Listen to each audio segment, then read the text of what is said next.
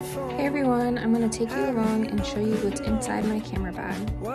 I got this new case from Amazon that helps hold all my stuff and it's perfect for a big wedding day. I have the 85 1.8 S lens for the Nikon Z series. I also have the 24 to 70 2.8 S lens. It's my favorite lens ever.